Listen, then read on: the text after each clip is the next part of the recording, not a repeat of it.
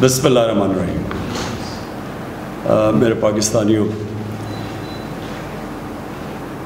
जिस तरह हमने, मैंने आपसे वादा किया था कि हमने एनसीसी की मीटिंग सारे सूबों को अतमाद में लेके हमने फ़ैसला किया कि हम आहिस्ता आहिस्ता लॉकडाउन खोलेंगे और लोगों को मौका देंगे कारोबार शुरू करने का।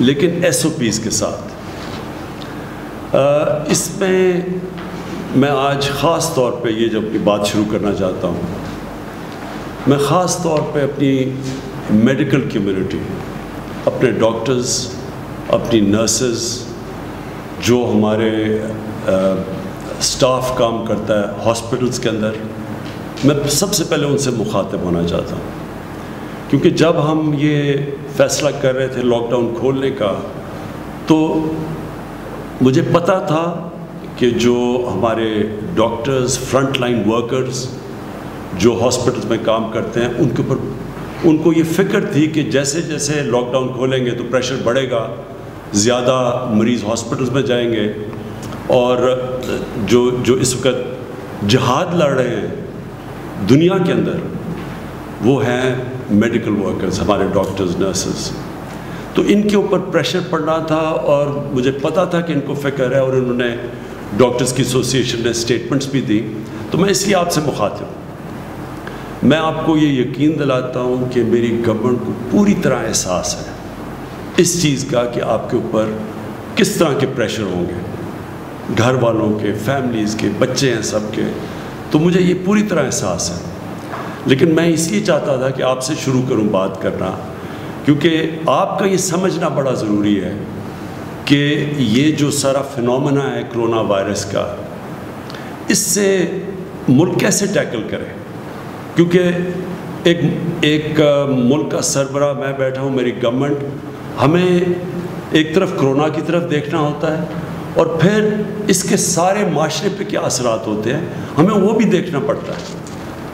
तो पहली चीज़ मैं आपको ये कहना चाहता हूँ कि अगर मुझे ये कोई यकीन दिलवा देता कि एक महीना आप लॉकडाउन करें या दो महीना लॉकडाउन करें, चले तीन महीने भी कर दें और उसके बाद कोरोना वायरस ख़त्म हो जाएगी।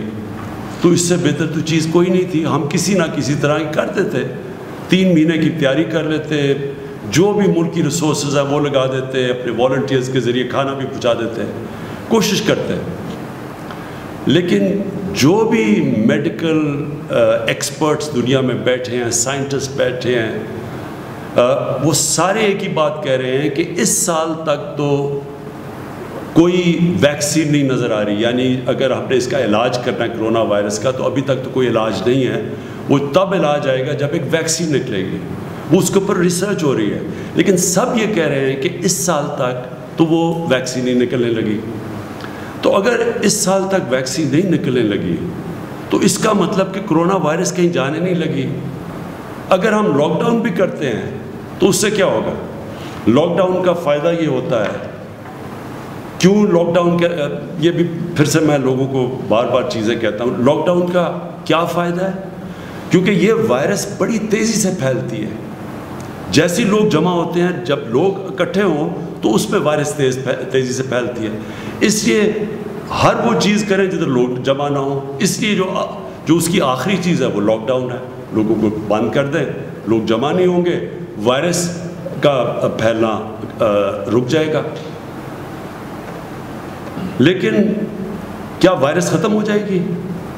अब देख लें दुनिया में जिधर लॉकडाउन है वुहान प्रोविंस जिधर चाइना ने सबसे कामयाब लॉकडाउन किया था, उधर भी एक स्पाइक आ गई है वायरस फिर से कहीं आ गई है। साउथ कोरिया जिसने लॉकडाउन करके फ्लैट कर्व कर दी थी मतलब ये कि कोई नए केसेस नहीं आ रहे थे, वहाँ एकदम फिर से केसेस शुरू हो गए एक और स्पाइक आ गई है। सिंगापुर में भी यही हुआ।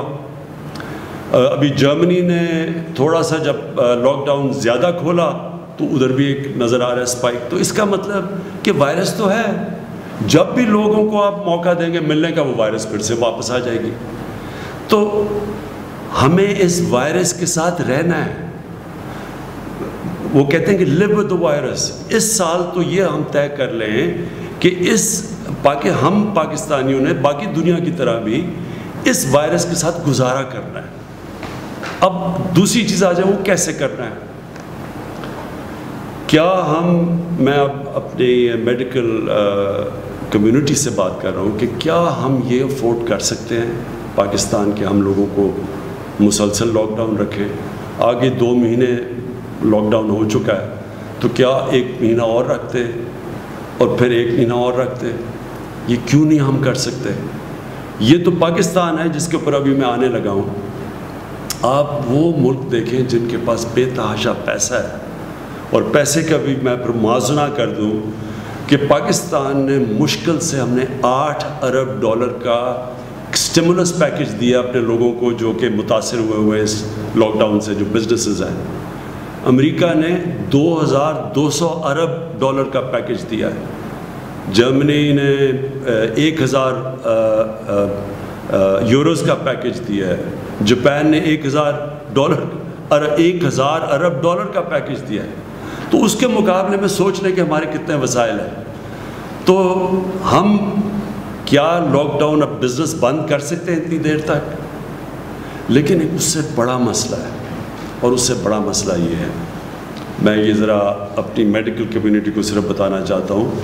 क्यों मैं पहले दिन, मैं ये आज कहना चाहता हूँ कि मैं पहले दिन से ये कह रहा था कि हम वो लॉकडाउन नहीं कर सकते जो यूरोप और अमेरिका में और या चाइना ने किया।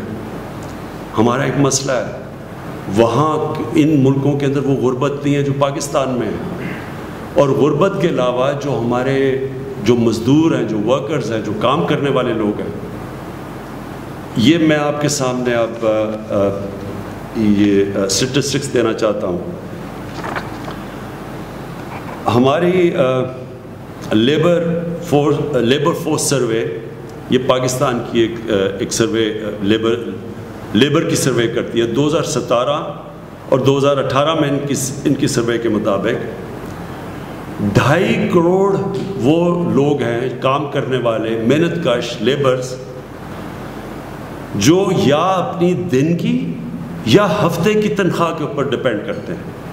यानी वो अपने अपने घर वालों का पेट पालने के लिए ढाई करोड़ ऐसे लेबर है, काम करने वाले हैं जो कि या दिन की कमाई के ऊपर गुजारा करते हैं, अपने घर वालों का पेट पालते हैं, या अपने हफ़्ते की कमाई से करते हैं। ये वो ढाई करोड़ लोग हैं, जबकि हमने सब कुछ बंद किया। इनका ये सब कुछ बंद करके ये घरों में चले गए। ये वो लोग हैं, क्योंकि जब आप पूरा लॉकडाउन करते हैं तो ये तो गए, इनके पास तो कोई और ज़रिया माश नहीं है।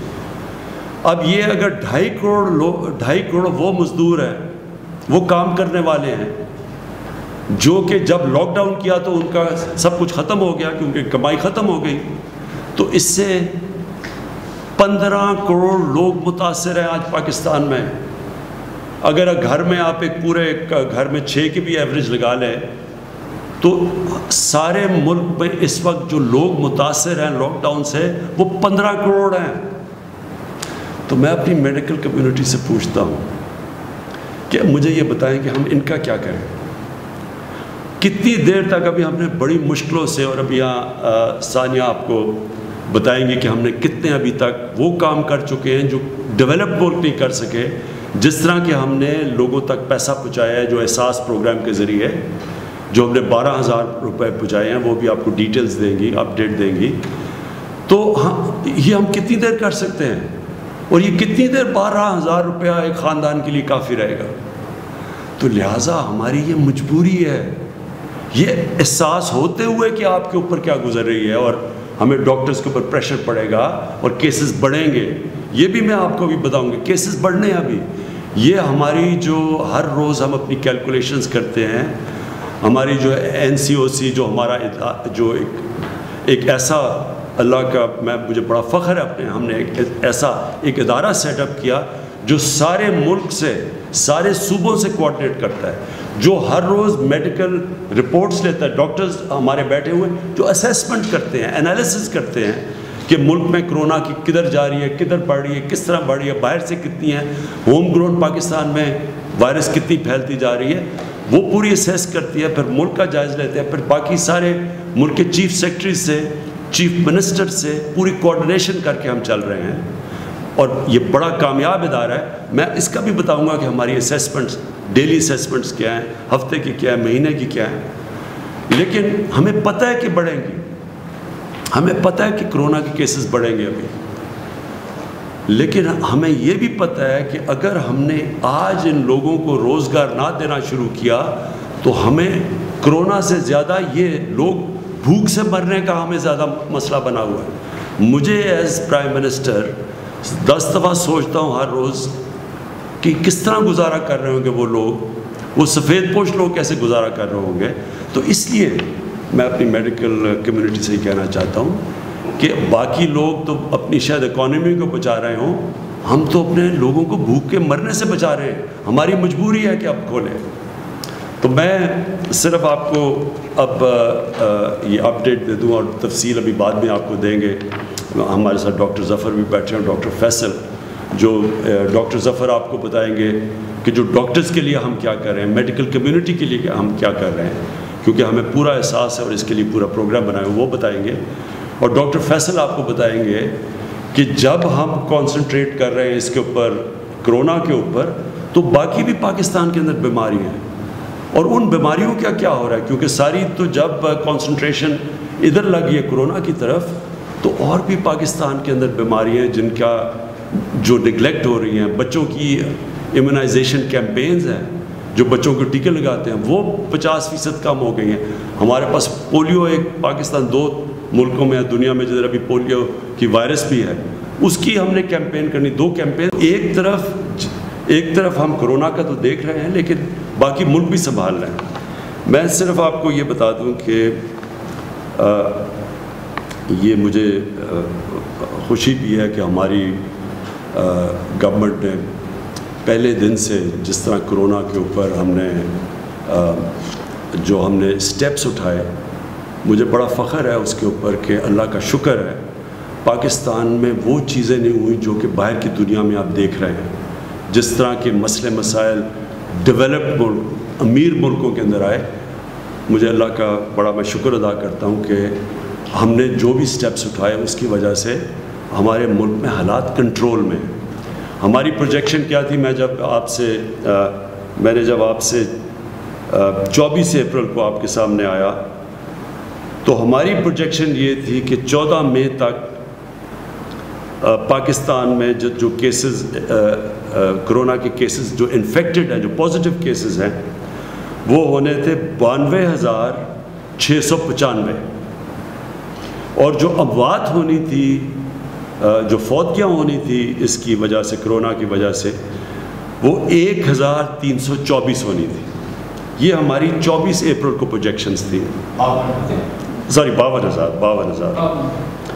बावन बावन हज़ार हमारी इन्फेक्शन इन्फेक्शन होनी थी और जो अमवात होनी थी वो एक हज़ार तीन सौ चौबीस।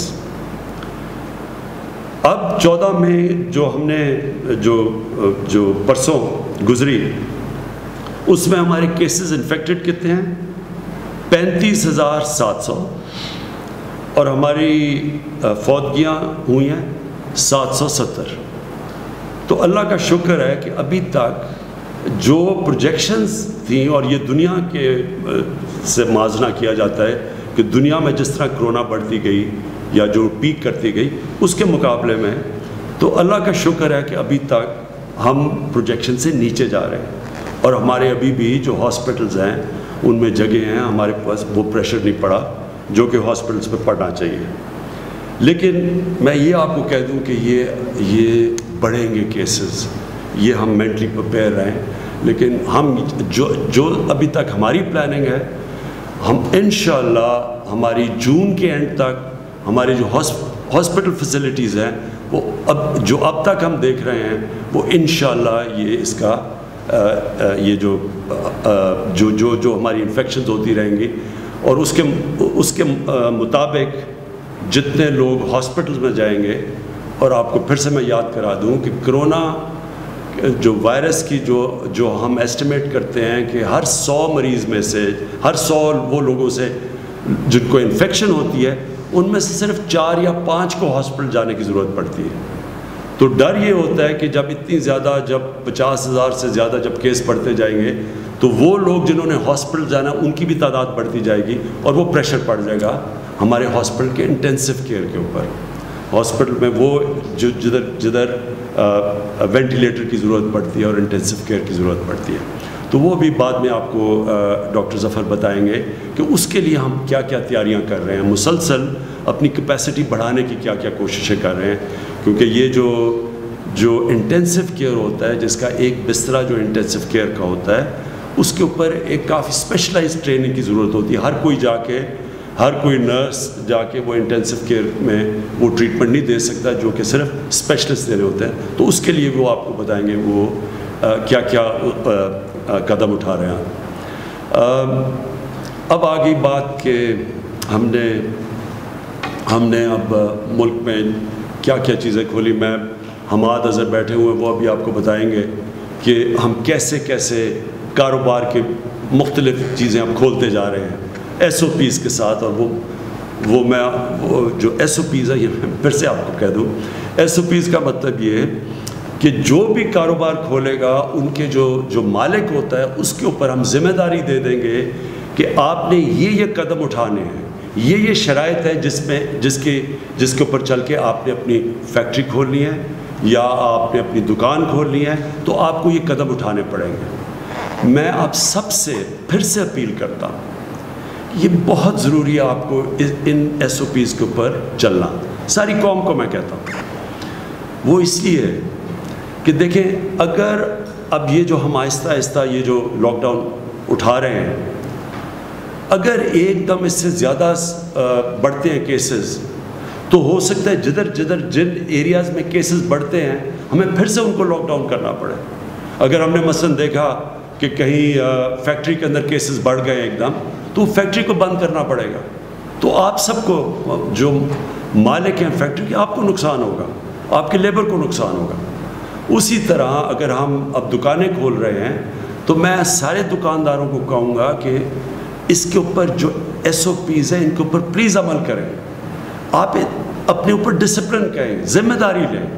क्योंकि आप जो ज़िम्मेदारी लेंगे, वो मौका देंगे हम सबको कि इस मुल्क को आहिस्ता आहिस्ता खोलने का, ताकि कारोबार शुरू हो, ताकि लोगों को रोज़गार मिले। तो ये जो आप आगे, इधर से हम जब दो हफ़्ते और एक महीना और ये जो भी एक साल हमें गुजारना पड़ेगा कोरोना वायरस के साथ तो इसमें बहुत बड़ा ज़िम्मेदारी होगी हमारे इस कौम के ऊपर शहरीों के ऊपर, कि हम कैसे अपने ऊपर डिसिप्लिन करते हैं। हम कैसे ये एस ओ पीज़ के ऊपर चलते हैं कि हम कोरोना का भी बंदोबस्त करते रहें और कोरोना को भी फैलने से, तेज़ी से फैलने से रोकते रहें और साथ साथ हम जो इतनी बड़ी मैंने आपको बताया है, जो लोग मुतासर हैं इससे, वो तकरीबन पंद्रह करोड़ लोग मुतासर हैं लॉकडाउन से। तो वो भी, उनके, उनको भी हम नौकरियाँ मिलते रहें, वो भी काम करते रहें, क्योंकि कोई भी, हम पंद्रह करोड़ लोगों का ध्यान नहीं रख सकते। हमारे पास वसाइल ही नहीं है। वो सिर्फ़ तब होगा जब इनको नौकरियाँ मिलेंगी और वो नौकरियाँ मिलेंगी, कारोबार चलेगा। तो कारोबार जब हम खोल रहे हैं तो मैं फिर से बार बार आपसे अपील करता रहूँगा कि आपने बड़ी एहतियात करनी है। इधर मैं जो अपने, हमारे जो 10 लाख से ज़्यादा टाइगर फोर्स बनी है, मैं आप सब टाइगर फोर्स को आपकी सबसे बड़ी ज़िम्मेदारी है, आपकी और भी जिम्मेदारियाँ हैं, लेकिन एक सब बड़ी ज़िम्मेदारी ये है कि पब्लिक के अंदर ये एक पूरी कैंपेन करें, आगाह करें पब्लिक को। आप जाके लोगों को ज़िम्मेदारी का एहसास दिलवाएँ कि जब तक पब्लिक खुद एहतियात नहीं करेगी, कोई गवर्नमेंट कुछ नहीं कर सकती। हमारे पास इतनी ना पुलिस है, ना इतने जेल हैं, हम ज़बरदस्ती नहीं कर सकते। ये आपको पूरी तरह इसके ऊपर अमल करना पड़ेगा। जो मैं दो और चीज़ें कहना चाहता हूँ। ट्रांसपोर्ट।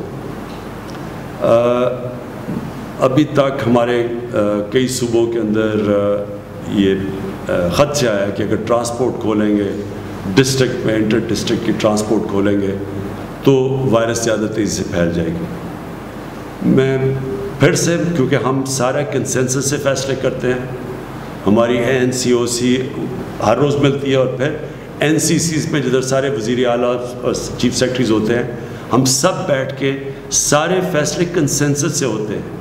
वो जमातें हैं जो अपोजिशन में भी हैं, जो हमारे साथ नहीं हैं। हम सबको अपने यानी कोई फैसला ये नहीं करते कि जिधर हम ये समझें कि कोई एक सूबा नहीं मान रहा। तो कंसेंसस से फैसले होते हैं। इसलिए अभी तक पूरी तरह ट्रांसपोर्ट के ऊपर फैसला नहीं हो सका क्योंकि एक दो सूबों के ये खदशात हैं कि अगर आप खोलेंगे ट्रांसपोर्ट तो ये वायरस फैल जाएगी। मेरा इसके ऊपर ये है कि देखें, हम जो भी कदम उठाएँ, पहले ये सोचें कि हमारा जो सबसे गरीब तबका है, उसकी हम मदद कैसे कर सकते हैं? क्योंकि इस कोरोना वायरस में जो आज सबसे मुश्किल में है, वो हमारा गरीब तबका है। तो जो ट्रांसपोर्ट है, जो पब्लिक ट्रांसपोर्ट है, वो तो गरीब आदमी की ट्रांसपोर्ट है।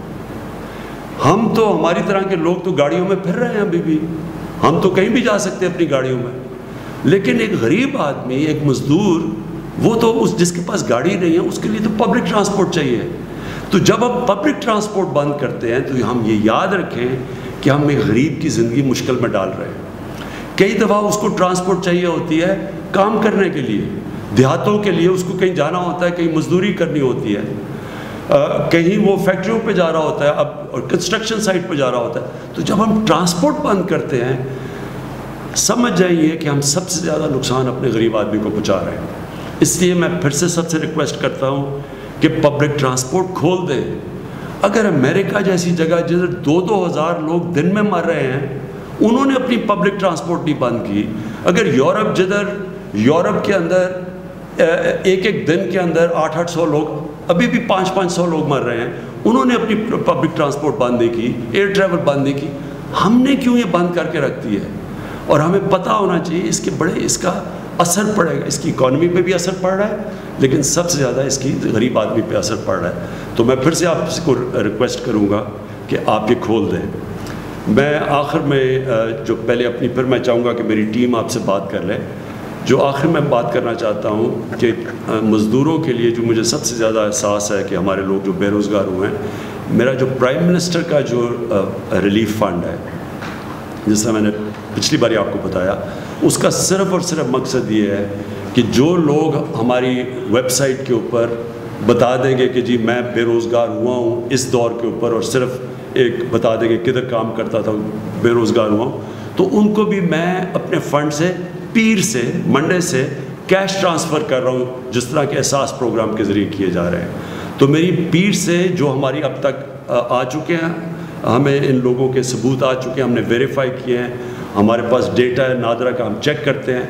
वो चेक करके जो क्वालिफाई कर चुके हैं, उनको मंडे से पैसा मिलना शुरू हो जाएगा जो प्राइम मिनिस्टर रिलीफ फंड से और मेरा जो सारा फंड है, वो सिर्फ़ और सिर्फ़ इन बेरोज़गारों के लिए पैसा देता रहेगा। जब तक इन एक महीने तक हमारी उम्मीद ये है कि जिस तरह जिस तरह हम चलते जाएँगे और इन अगर हमारे केसेस ज़्यादा तेज़ी से ना बढ़े तो इन हम अपने कारोबार खोलते जाएँगे और लोगों को रोज़गार मिलता जाएगा। ख़ास तौर पे कंस्ट्रक्शन में। हमने कंस्ट्रक्शन की इंडस्ट्री को ख़ास तौर पे कोशिश की है हर किस्म का इंसेंटिव दें, ताकि कंस्ट्रक्शन शुरू हो और उसका मकसद ये है कि ज़्यादा से ज़्यादा लोगों को, मज़दूरों को रोज़गार मिले। सब, हम सब जानते हैं, दुनिया इस वक्त जानती है कि जो इस इस वक्त फ्रंट लाइन का मतलब ये है कि जो बिल्कुल फ्रंट लाइन पर खड़े होकर जंग लड़ रहे हैं, वो हमारे डॉक्टर्स नर्सेज और जो मेडिकल स्टाफ है। जितनी भी हम आपको ये अश्योरिटी दिलवा सकें कि इस पर गवर्नमेंट कौम सारी आपके साथ खड़ी है। यानी आपको अंदाज़ा नहीं है कि लोग कितना अप्रिशिएट कर रहे हैं। ये असल में ये जहाद है जो आप कर रहे हैं। तो मैं सिर्फ़ जो हम, हमारी तैयारियाँ हम, यानी जब से ये कोरोना शुरू हुई, पाकिस्तान का जो हेल्थ सिस्टम था हम सब जानते हैं बदकस्मती से कि वो काफ़ी पीछे रह गया। कि जब जिस मुल्क के हुक्मरान अपना चेकअप भी बाहर दुनिया में करवाने जाते हैं, उस मुल्क का हेल्थ सिस्टम डेवलप नहीं हो सकता। इसलिए जो हमने तब से काम किया अपने हेल्थ सिस्टम के ऊपर जो कैपेसिटी बढ़ाई, जो हमने टेस्टिंग कैपेसिटी ये पहले थी नहीं, फिर जो आईसीयू इसकी कैपेसिटी बढ़ाई। और अब जो हम करने जा रहे हैं अपने डॉक्टर्स के लिए, ये हमारी, मेरी गवर्नमेंट के ऊपर सबसे बड़ा बोझ पड़ा हुआ है। एक तो कि इस मुल्क का जो गरीब लेबर तबका दिहाड़ीदार जो उनके ऊपर गुजर रही है। और अभी जो डॉक्टर जफ़र ने बात की कि ये जितनी बीमारियाँ इस वक्त पाकिस्तान में आ, आ, आ, जो जाने लेती हैं मसन ये गंदे पानी पीने की बीमारी से बच्चों को या बेचारी जो खातन जो प्रेगनेंसी पे मरती हैं और या ये जो टीबी की बात की और ये पोलियो, ये सारा गरीब तबके के ऊपर बोझ पड़ता है। और जितनी जितनी हम गुर्बत बढ़ती जाएगी और ये लॉकडाउन का मसला ये है कि इससे पाकिस्तान में गुर्बत बढ़ती जा रही है और सारी दुनिया में, जिन जिन गरीब मुल्कों के अंदर इससे गुर्बत बढ़ती जा रही है तो जब गुर्बत बढ़ेगी तो इन बीमारियों से और ज़्यादा हमें फ़िक्र है कि हमारे गरीब तबके में अमवात होंगी। लेकिन इसका जो दूसरी चीज़ हमें मुश्किल में पड़े हुए हैं वो है एजुकेशन हमारे बच्चे स्कूलों में नहीं जा रहे यूनिवर्सिटी स्टूडेंट्स उनके, उनका टाइम ज़ाया हो रहा है और जो एक मुल्क तो बढ़ता ही तालीम की वजह से आगे। तो इसलिए इसमें मैं सिर्फ़ आपको बताना चाहता हूँ कि मुसलसल इसके ऊपर भी बातचीत हो रही है बाकी सूबों से कि हमने अब ये कैसे, क्या करना है, कैसे खोलना है। इंपॉर्टेंट है कि हम जिस तरह मैंने कहा कि ये साल तक तो अब कोरोना के साथ अब हमने रहना है। ये कोरोना कहीं जाने नहीं लगी एक साल तक। तो इसमें हमने अब सोचना है, तरीके इख्तियार करने हैं कि हमने अब इससे इसके साथ कैसे रहना है। अपने बच्चों को तालीम भी देनी है तो वो फिर और तरीके सोचने पड़ेंगे। और बाहर भी दुनिया में हम देख रहे हैं कि दुनिया के अंदर दुनिया क्या कर रही है और दुनिया से एक्सपीरियंस भी आ रहा है। कि मसलन स्वीडन बिल्कुल एक मुख्तलिफ़ रास्ता पकड़ा हुआ है उन्होंने।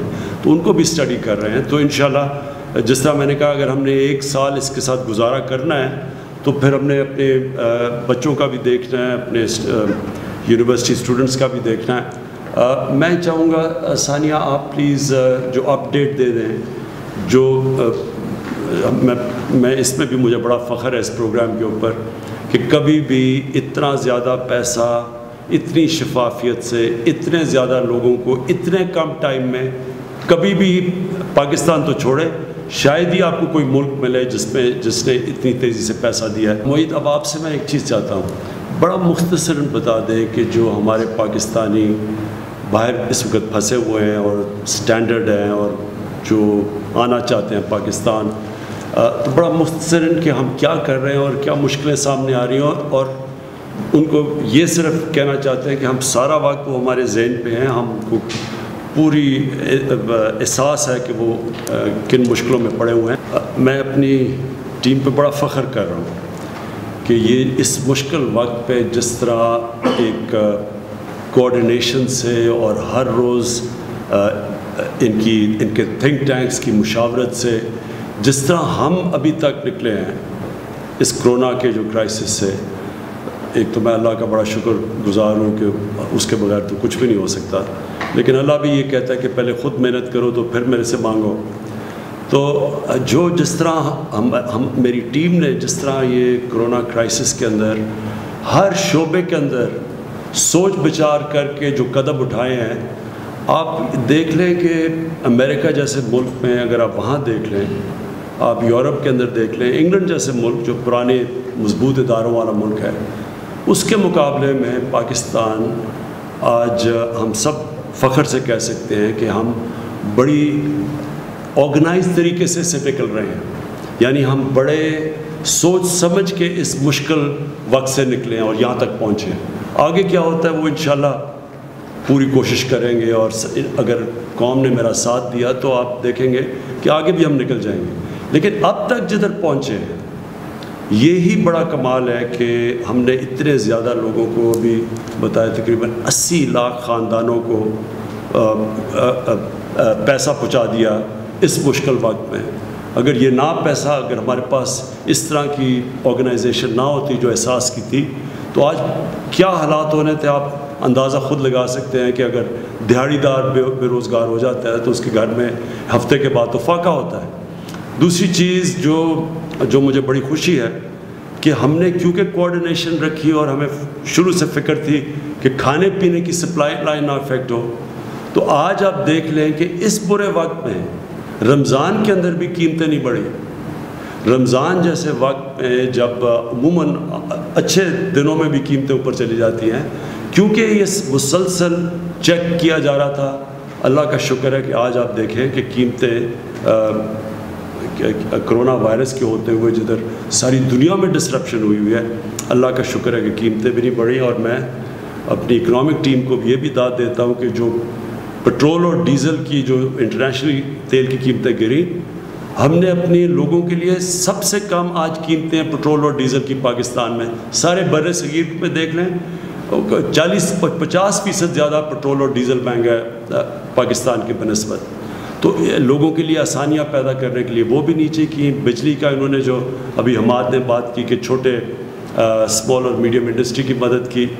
और जिस तरह हमारी जो मेडिकल एक्सपर्ट्स इनकी इन्होंने जैसे जैसे हमें गाइड किया और उसी तरह हम चलते रहे और हमने यानी कौम को आगाह करते रहे। हर वक्त पूरी डिटेल्स देते रहे कितनी आम बात है, कितने लोग वेंटिलेटर पे हैं, कितने हैं। एक पूरा नेशनल कोऑर्डिनेशन की जो पहले बिल्कुल नहीं थी। और इन जिस तरह हम जा रहे हैं, मेरा ये ईमान है कि हम बड़ी एक मज़बूत कौम बन के निकलेंगे।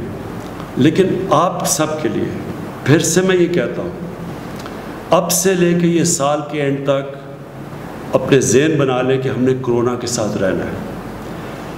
कितनी कामयाबी से ये कौम निकलती है, इस क्राइसिस से आपके ऊपर डिपेंड करता है। आप जितने ज़िम्मेदार होंगे इस मुश्किल वक्त में, आप आप जितनी एहतियात करेंगे, और मैं जो जो टाइगर फोर्स है, मैं ख़ास तौर पे आपको कहना चाहता हूँ कि आपको निकलना चाहिए और लोगों को एहसास दिलवाना चाहिए। पता है कि कोरोना जब लोग जमा होंगे तो कोरोना फैलने के चांसेस ज़्यादा है। तो हम अपनी जहन इस्तेमाल हमत इस्तेमाल कर सकते हैं। हम हर काम कर सकते हैं अगर हम अकल से करें। और क्योंकि हमें इस इस इस वायरस के साथ रहना है, क्योंकि हमें पता है कि जब तक एक वैक्सीन नहीं निकलती, इस वायरस ने यहीं रहना है। इसलिए हम जितनी एहतियात करेंगे, हम अपने माशरे के लिए आसानियाँ पैदा करेंगे। क्योंकि जब लॉकडाउन होता है, अब मैंने शुरू में भी आपको कह दिया, हम हम गुर्बत बढ़ाते हैं अपने माशरे हम गरीबों को और नीचे धकेल देते हैं। तो इसलिए हमारे ऊपर ज़िम्मेदारी है कि हम एक गरीबों को भी प्रोटेक्ट करें दूसरी चीज़ जितनी हम एहतियात करेंगे, हमें पता है, ये भी पता है कि ये बूढ़ों को, बुज़ुर्गों को ये ज़्यादा इफ़ेक्ट करती है। हमें ये भी पता है कि जो लोग बीमार हैं, उनको कोरोना हो जाए तो उनको, उनकी जान ख़तरे में चली जाती है, ये हमें पता है। तो लिहाजा हम जो नौजवान हैं, वो ज़िम्मेदारी लें, वो ख़ुद एहतियात करें कि हमारे घरों में, हमारा तो जॉइंट फैमिली सिस्टम है, हम तो सारी फैमिली रहती है। तो आपको ख़ुद देखना चाहिए कि एहतियात कि आपके घर के अंदर जो बूढ़े जो बुज़ुर्ग हैं और जो बीमार हैं आपकी ज़िम्मेदारी है उन, उन, उनको उन, उनकी हिफाजत करना। और हिफाजत आप कर सकते हैं एहतियात करके। और आखिर में ये जो ईद आ रही है मैं ख़ास तौर पे आप सबसे कहना चाहता हूँ कि ये जिस तरह हम ईद आम ये कौम बनाती है और हमेशा बनाती है और ईद बड़ा एक फैमिली का ओकेजन होता है लोग जमा होते हैं ये ईद मुख्तलफ है। इस ईद को आपने ये सोचना है, ज़िम्मेदारी लेके कि हाँ हमने ईद बनानी है, लेकिन वो उस तरह की ईद नहीं बनानी जिस तरह हम अमूमन बनाते हैं। हमें देखना पड़ेगा कि हम अपने मुल्क की खिदमत करेंगे कि घर में एहतियात करेंगे। और फिर मैं ख़त्म करूँगा जो हमारे डॉक्टर्स और जो हमारी नर्सेज हैं, जिनके ऊपर सबसे ज़्यादा जो फ्रंट लाइन पर खड़े हैं, हम उनकी भी मदद करेंगे अगर हम सब एहतियात करें। शुक्रिया और पाकिस्तान पाइंदाबाद।